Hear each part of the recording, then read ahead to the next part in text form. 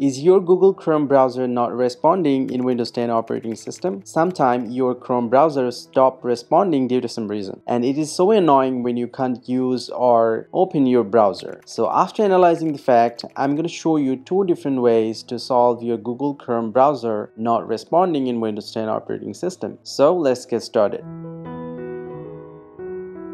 So the first way to solve this problem is go ahead and right click on the Google Chrome application. And from here just select open file location. And under the file location you'll get the application over here. So what I'm gonna do is just right click on it and just select rename from here and select a, different name like I'm gonna type a Chrome 2 and just press enter. And here as you can see you have got Chrome 2 browser. So after that what I'm gonna do just right click on it again and just go to the send to I'm gonna select desktop from here. So just close the page and another shortcut Chrome will be appeared on your desktop screen. So here as you can see the Chrome 2 browser shortcut is available over here. So what I'm gonna do just I'm gonna delete this one because it's not responding right now. So just right click on it and just delete so here is the browser. So just just open the browser and from here you can use the browser.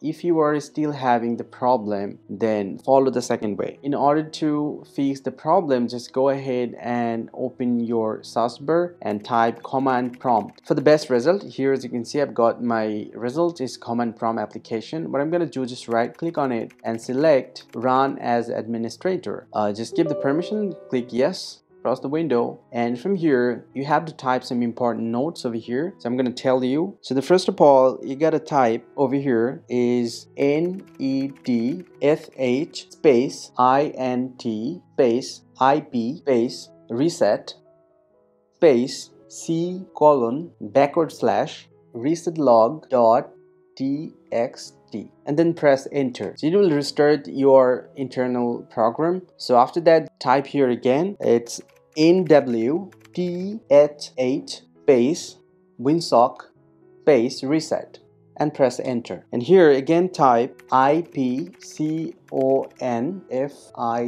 ipconfig forward slash flus 8DNS and just press enter from here. And for the final procedure just type exit from here and press enter again to end the prompt command. So after the process just go ahead and restart your computer. In order to restart the computer just go ahead and press your start menu and click on power and then restart your computer. Hope it will fix your problem completely. Or if you have any questions regarding this topic please let me know in the comment section. See you in the next video and thanks for watching.